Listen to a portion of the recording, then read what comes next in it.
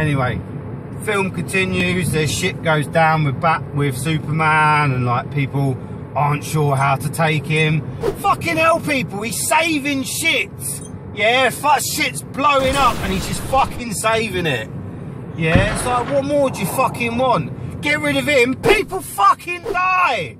Yes, just fucking deal with it. Don't get all fucking, oh, he's an alien. He's got all these powers. He could ruin us.